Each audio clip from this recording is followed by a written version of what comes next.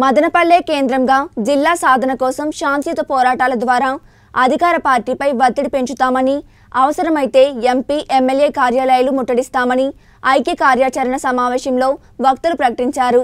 BSP రాష్ట్ర ఉపాధ్యక్షులు బిందెల గౌతమ్ కుమార్ ఆధ్వర్యంలో జరిగిన ఈ సమావేశానికి మాజీ ఎమ్మెల్యేలు షాజహాన్ బాషా దొమ్మలపాటి రమేష్ జనసేన పార్టీ జిల్లా ప్రధాన కార్యదర్శి జంగాల శివరాం రాయల్ పలువురు పాల్గొన్నారు.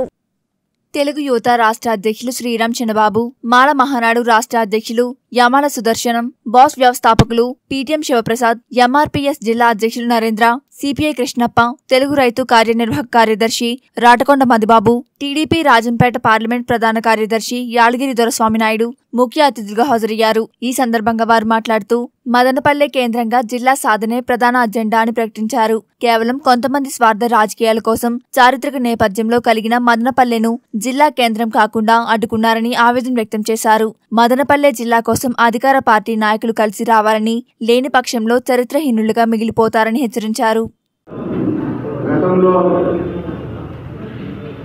మన మదనపల్లి జిల్లా కేంద్రం కావాలని చెప్పి అందరూ కూడా వివిధ ప్రజా సంఘాల నాయకులు పెద్ద ఎత్తున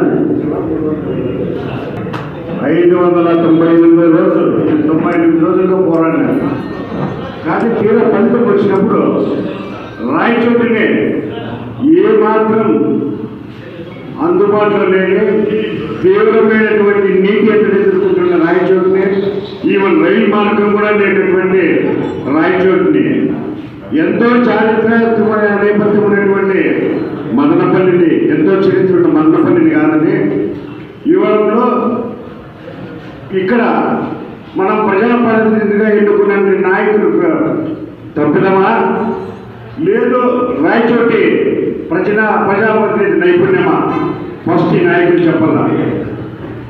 ఒకరేమో నాలుగు నియోజకవర్గాలు రాజంపేట నాలుగు నియోజకవర్గాలైనటువంటి పువ్వులూరు మదనపల్లి తమ్మలపల్లి వీళ్ళేరులో ఒకరు తమ స్వార్థంతో చిత్తూరు జిల్లాలో వేసుకుంటే మిగతా మూడు నియోజకవర్గాలు రాయచోటి నియోజకవర్గం కింద పంపిస్తాను అంటే ఈడ ప్రజల నాయకుల మనం ఎన్నుకునే నాయకులు చాలా తెలివైన వల్ల ఆ నాయకుడిని ఇప్పుడు సూటిగా అడుగుతాను ఇంతమంది ప్రజల ఆకాంక్షలు ఏ విధంగా మీరు తోసిరాజని చెప్పి రాయచోటి నియోజకవర్గం చేస్తారో చెప్పాలని చెప్పి ప్రజాప్రతినిధులను ఈరోజు నిలదీస్తా ఉన్నాం డిమాండ్ కూడా చేస్తున్నాం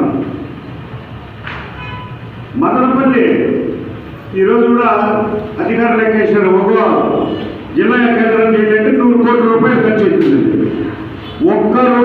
వచ్చినా కూడా ఖర్చు ఈరోజు జిల్లా కేంద్రం ఉండే రాష్ట్రం డబ్బులు లేక వెనకబడింది అంటారు అటువంటి పరిస్థితుల్లో తెలివైన ఎంఏ పని నేర్చింది తప్ప రాయచోట్లో మళ్ళా రేపు వచ్చిన మొదలు పెట్టిన మొదలు సామెతలు మళ్ళా మొదలు చేసి వస్తారు కాబట్టి దయచేసి మదనపల్లి నియోజకవర్గాన్ని జిల్లా కేంద్రంగా చేయాలని చెప్పే ఆకాంక్షను మీరు తక్షణం అమలు చేయాల్సిందిగా లేదంటే ఇక్కడ తొంభై ఐదు వందల తొంభై ఎనిమిది రోజులు పోరాటం ఎన్ని రోజులు పోరాటమైనా ఖచ్చితంగా ప్రభుత్వం మెడలు వచ్చి మళ్ళా మందపల్లి నియోజకవర్గ జిల్లా కేంద్రంగా చేసుకునేదానికి మేము మనందరూ కూడా పూర్తి స్థాయిలో ప్రయత్నిస్తాం ప్రయత్నించాలని చెప్పి తెలియజేసుకుంటూ అవకాశం ఇచ్చినందుకు యాక్టివిస్టులు జర్నలిస్టులు అందరు కూడా ముందుగా పేరు పేరున విప్లవ జేబీని తెలియజేసుకుంటాను మిత్రులారా చాలా విషయాలు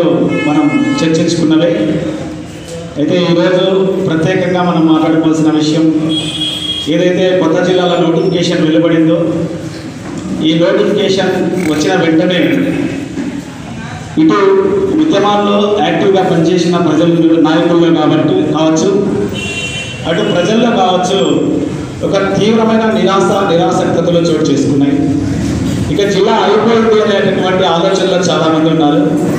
అంటే జగన్మోహన్ రెడ్డి నోటిఫికేషన్ రిలీజ్ చేస్తే జిల్లా అయిపోయింది అని అనుకోవాల్సినటువంటి అవసరం లేదు. చాలా పెద్ద పెద్ద వాళ్ళు తీసినటువంటి చట్టాలే వాపసు తీసుకొని ఉపసంహరించుకున్నటువంటి సందర్భాలు చరిత్రలో అనేకం ఉన్నాయి. కాబట్టి మనమందరం కూడా కలెక్టివ్గా మనం చేయగలిగిన శక్తి సామర్థ్యాలను వడ్డి పోరాటం చేస్తే కొత్త జిల్లాల ఏర్పాటు కోసం ఇచ్చినటువంటి నోటిఫికేషన్ని ముఖ్యమంత్రి వాపస్ తీసుకోవడం అనేది పెద్ద సమస్య కాదు. ఆ వైపుగా మనం పోరాటం చేద్దాం. ఎవరు నిరాశ నిస్పృహాలకి పోవాల్సినటువంటి అవసరం లేదని ఈ సందర్భంగా నేను గుర్తు చేస్తా ఉన్నాను ఇకపోతే మిత్రులారా చాలా స్పష్టంగా కొత్త జిల్లాల ప్రక్రియ ప్రజల కోసం కాకుండా కేవలం రాజకీయ నాయకులని వైసీపీ పార్టీలో ఉన్నటువంటి రాజకీయ నాయకులని బలంగా కొన్ని ప్రాంతాలకి తయారు చేసుకోవడానికి మాత్రమే అనువుగా ఈ నోటిఫికేషన్ ఉంది. ముఖ్యమంత్రి చెప్పినట్లు ప్రజల కోసము పరిపాలనా సౌలభ్యం కోసము ఇవన్నీ ఒట్టి మాటలే. ఇవన్నీ కూడా ఒట్టి మాటలే. దీంట్లో ప్రజల సౌకర్యము లేదు పరిపాలన వికేంద్రీకరణ ద్వారా ప్రజలకు ఏదో ఒరగబెట్టేది లేదు. నాయకులు ప్రజల అవసరాన్ని ఓట్ల కోసం వినియోగించుకుందాము. వినియోగించుకున్న తర్వాత ఎడం కాలు వీళ్ళు తన్నేద్దాము. వీళ్ళు ఏడో ఉదాహరణ పోయి సావని ఏడతో మనకి ఏమాత్రం పని లేదని చెప్పి మరొకసారి వైఎస్ఆర్ పార్టీ రిజ్యూ చేసింది. మొన్న మొన్నటి వరకు మూడు రోజుల క్రితము రైల్వే లేను కాంగ్రెస్ పార్టీ ఆ రోజు చాలా ఆరాటపడి దాదాపు ఐదు వందల కోట్ల రూపాయలు మ్యాచింగ్ ఫండ్ ఇచ్చి కడప బెంగళూరు రైలు ఇక్కడ ఈ మదనపల్లి నుంచి రావాలా? మదనపల్లి రైల్వే స్టేషన్ సీటీఎంలో ఉంది. మదనపల్లి నడుపుట్లో సిటీ బసిరికొండ కానీ ఎక్కడైనా కానీ రైల్వే స్టేషన్ స్థాపిస్తే మదనపల్లి ఇంకా అభివృద్ధి అవుతుంది. ఒక స్టేషన్ ఇక్కడ వస్తా ప్లాన్ చేస్తే దాన్ని కూడా మార్చేయడం జరిగింది వైఎస్ఆర్ పార్టీ. ఇంకా అక్కడి నుంచి వస్తే ఈరోజు పూర్తి హంగులున్న మదనపల్లికి జిల్లా కేంద్రం చేయడానికి మదనపల్లి జిల్లా హాస్పిటల్ పరిస్థితి ఏం తెలుసా? చిత్తూరు గవర్నమెంట్ హాస్పిటల్ ఉంది. దాంట్లో ఒక రోజుకు ఓపీడీలో నాలుగు వందల నుంచి ఐదు వందల మంది పేషెంట్ వస్తారు. మదనపల్లి జిల్లా హాస్పిటల్ ఎంతమంది వస్తారు తెలుసా? పదకొండు పదకొండు వందల యాభై వెయ్యి వంద యాభై అవుట్ పేషెంట్లు ఒక రోజుకి వస్తారు. గైనిక్ సర్జరీలు మూడు వందల అరవై అవుతాయి ఆర్థో సర్జరీలు మూడు వందలు అవుతాయి ఒక నెలకు. ఇంత అర్హత పొటెన్షియాలిటీ ఉన్న మదనపల్లికి మర్చిపోయి ఇంకా ఎడ్యుకేషన్ చెప్తారా మీరు?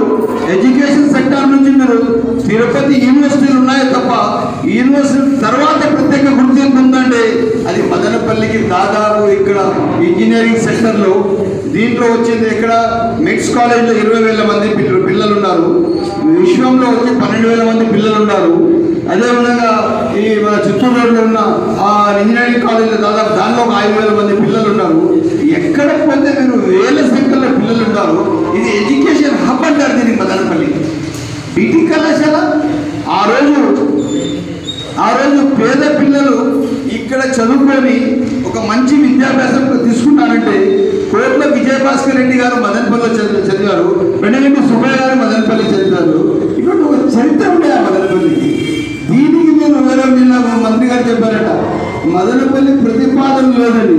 ప్రతిపాదనలో ఎక్కడ రాదు బాస్ ప్రతిపాదన పెట్టే వస్తుంది. ప్రతిపాదన ప్రపోజల్ చేస్తే వస్తుంది. మాటలు చెప్తే ఏమి రాదు. ఎప్పుడు మనం ఈ మదనపల్లికి వచ్చినప్పుడు అయ్యా మీరందరూ నాన్న తమ్ముడు మీకు ఏం కావాలంటే న్యాయం చేస్తారంటారు పని అయిపోయినాక అర్థమైందా ఏ మాత్రం మీరు ఎవరు పట్టించుకోవడం లేదు ఇంకొక ముఖ్యమైన ఏం తెలుసా మీకు ఏ విధంగా ఆర్మీ ఉంది కంచి ఉంది బనారస్ ఉంది. ఇది